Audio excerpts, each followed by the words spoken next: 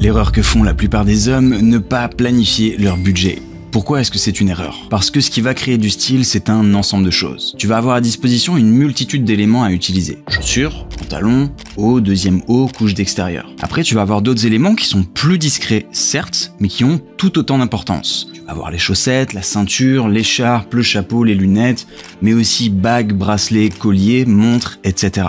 À partir de là, plus tu vas utiliser d'éléments, plus tu vas avoir de puissance de style. Mais utiliser les paramètres que tu as à disposition, c'est très bien. Par contre, il y a deux choses qui vont te rendre stylé. D'abord, la pertinence des choix que tu vas effectuer, et ensuite, l'harmonisation des éléments que tu auras choisis. Et aujourd'hui, nous, ce qui nous intéresse, c'est la première chose, la pertinence des éléments que tu vas choisir. Aujourd'hui, si par exemple, je te donne 1000 euros et que je te laisse acheter au feeling, et qu'en parallèle, je donne 1000 euros à un autre homme et que je le coach et que je lui dis comment optimiser son budget, le résultat sera radicalement différent en termes de style. Pourquoi? Parce que parmi tous les éléments que je t'ai cités, chacun d'eux va avoir un coefficient qui est différent, ce qui va te permettre d'avoir un impact plus ou moins important. C'est pourquoi tu dois par exemple éviter de mettre trop de budget sur des éléments qui ont un coefficient faible, parce que tu ne gagneras pas en style et tu perdras en budget, et de la même manière qu'il faudra que tu évites de mettre trop peu de budget sur des éléments qui ont un potentiel plus grand, parce que tu perdras une marge de manœuvre très importante pour avoir le maximum de style. Donc aujourd'hui, on va voir comment planifier ton budget de manière stratégique afin d'obtenir le maximum de style en optimisant tes dépenses.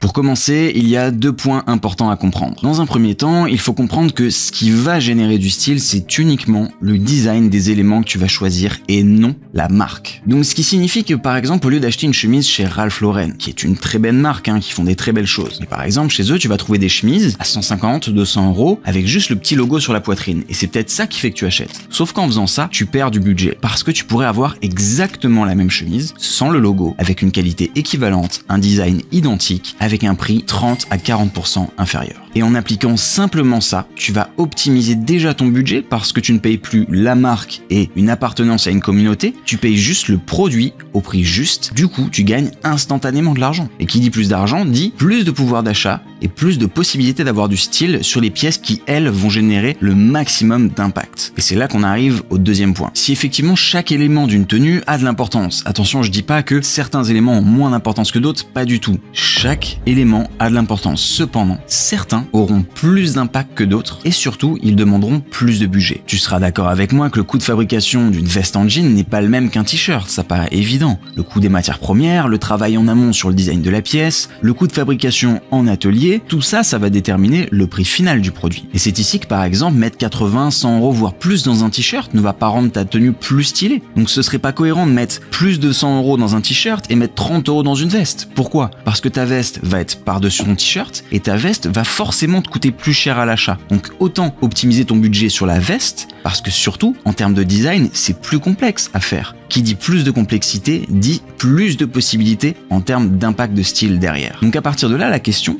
c'est quelles sont les pièces qui coûtent le plus cher? Tu vas voir que comme par hasard, ce sont elles qui sont déterminantes pour ton style. Regarde chez une marque, tu regardes la pièce la plus chère et la pièce la moins chère. Le résultat, c'est quoi? En premier, l'outerwear. Veste, parka, manteau, blouson, etc. Ensuite, on va avoir les chaussures. Ensuite seulement, on va retrouver les mailles, notamment en hiver, parce qu'il faut des matières nobles, parce que c'est un coût de fabrication élevé avec des machines spécifiques. Et enfin seulement, on va retrouver pantalons et les couches du haut du corps, les premières couches comme par exemple les t-shirts, les chemises, les mailles. Maintenant, on va imaginer que tu as 1000 euros de budget pour l'exemple et voir comment optimiser ton budget sur chaque type de pièce. Pour commencer, l'outerwear, tu l'auras compris, c'est là qu'on va mettre le plus de budget, c'est là qu'on va avoir le plus de potentiel de style et tu vas voir que ces pièces-là, c'est là où tu prendras le plus de plaisir. Un beau bomber pour avoir un max de flow, avoir un beau manteau en laine en hiver pour avoir un maximum de prestance et de l'élégance, un vrai beau cuir pour être vraiment masculin, c'est vraiment des pièces incroyables à avoir. Alors attention, il faut être vigilant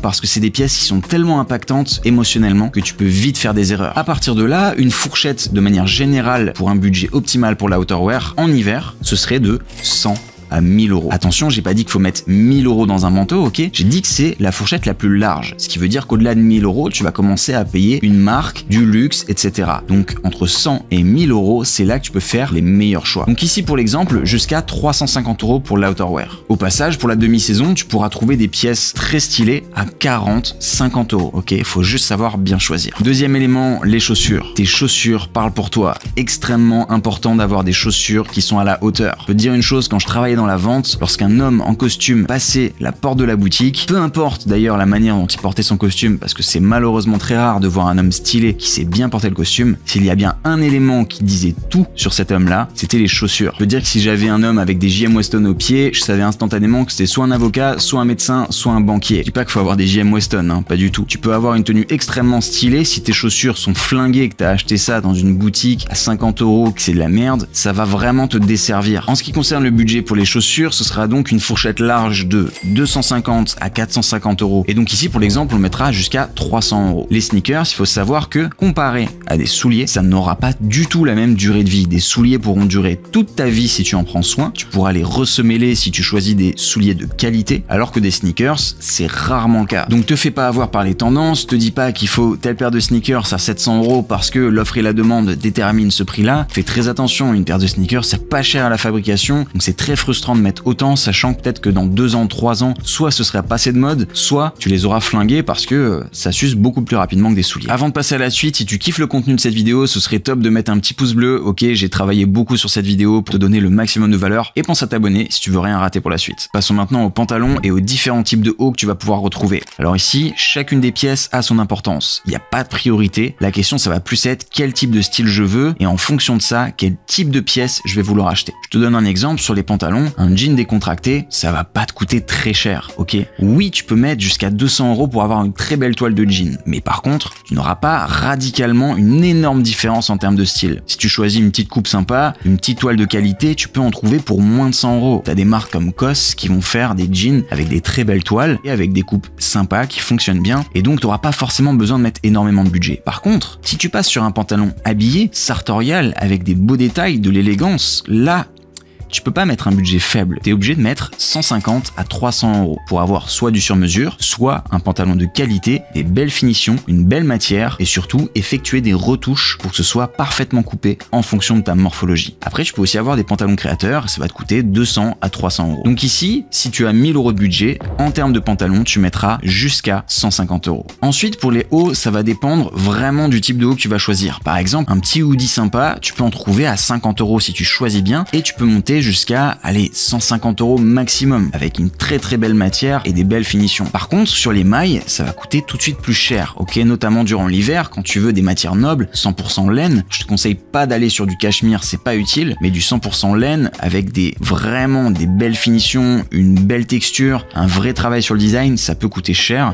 On va être entre 150 et 300 euros et ça peut même aller au-delà. Jusqu'à 300 euros, tu trouves déjà des très très belles pièces. Et enfin, sur euh, les chemises par exemple, 50 euros si t'as une morphologie standard dans un prêt-à-porter qui te va parfaitement, ça fera très bien l'affaire, tu as des marques qui font très très bien le travail. Par contre, s'il te faut du sur-mesure, bah ça peut monter jusqu'à 150 euros parce que si t'as une morphologie complexe, il faut que ce soit parfaitement à ta taille. Donc pour le haut, on mettra jusqu'à 200 euros de budget en fonction de ce que tu vas choisir. Pour résumer, si tu as 1000 euros de budget, voici comment répartir tes dépenses. Jusqu'à 350 euros sur l'outerwear, jusqu'à 300 euros sur les chaussures, jusqu'à 150 euros sur le pantalon et jusqu'à 200 euros sur le haut. Maintenant, il y a trois choses importantes à retenir. Ici, je t'ai montré comment répartir ton budget uniquement sur les éléments qu'on a vus jusqu'à maintenant, parce que c'est par là qu'il faut commencer. Mais attention, souviens-toi que plus tu utilises d'éléments, plus tu auras d'impact en termes de style. Donc lunettes, chapeau, bague, bracelet, collier, etc. Si tu souhaites que je fasse une vidéo à ce sujet-là pour voir comment répartir ton budget, n'hésite pas à me le dire en commentaire. Ensuite, je t'ai donné un exemple avec 1000 euros de budget et je t'ai toujours dit jusqu'à tant de budget. Donc n'oublie pas que ça dépend du Peut-être que tu as un manteau qui te plaît qui coûte 600 euros, mais que tu vas l'acheter pendant les soldes et que tu vas le payer 300 euros. Tu vas peut-être aussi pouvoir l'acheter en seconde main. Par exemple, l'outerwear en seconde main, c'est vraiment vraiment optimal parce qu'un outerwear, tu transpires pas dedans, tu as des couches en dessous et puis de toute façon, si ça a été porté euh, plus de 2-3 fois, tu l'emmènes au pressing et l'histoire elle est réglée. Un blouson, un manteau, ça s'use beaucoup moins rapidement que par exemple un t-shirt que tu vas mettre en machine, etc. Donc l'idée c'est vraiment de faire avec ton budget, si tu as moins de 1000 euros, tu vois la répartition du budget et t'appliques le même modèle. Si tu as plus de 1000 euros, pareil. Et pour finir, très important, ici je te donne un exemple d'un des membres de l'Académie du style. Il a acheté aussi bien des types de pièces sartoriales avec beaucoup d'élégance et aussi bien des pièces streetwear comme on a sur cette tenue. Pour l'exemple, on a une pièce créateur sur le pantalon à 200 euros, une paire de boots à 200 euros, un col roulé à 150 euros et une veste qui valait, je crois, 600-700 euros et qu'il a eu à 300 euros. Ce que tu peux voir déjà sur cette tenue, c'est que ce col roulé, il est portable avec une tenue beaucoup plus ajustée et plus élégante c'est-à-dire beaucoup moins streetwear. Sauf qu'en parallèle, il a aussi des pièces qui valent 60 euros avec des vestes, des pantalons à 40 euros. Et l'idée, c'est toujours d'avoir le maximum de style en dépensant intelligemment. Ici, je vais trouver ces types de pièces beaucoup moins chères. Et l'idée, c'est aussi de varier le budget sur ta garde-robe. Lorsque tu sais choisir, tu peux avoir des pièces qui sont chères, des pièces qui sont beaucoup moins chères et avoir des tenues très impactantes. Donc pense bien à voir les choses dans leur ensemble. Pense que tu peux trouver dans l'entrée de gamme des pièces très impactantes. C'est juste une histoire de compétences. Et d'ailleurs, si comme lui, tu veux que je t'accompagne, tu veux que je te coach pour devenir stylé en fonction de tes besoins et tes envies, mais surtout comprendre comment devenir autonome et ensuite pouvoir voler tes propres ailes, c'est le lien dans la description. Pour conclure, pense bien les choses dans l'ensemble, pense bien que chaque pièce a son importance et a son impact, répartis ton budget vraiment de manière optimale et tu verras que le résultat sera extrêmement puissant.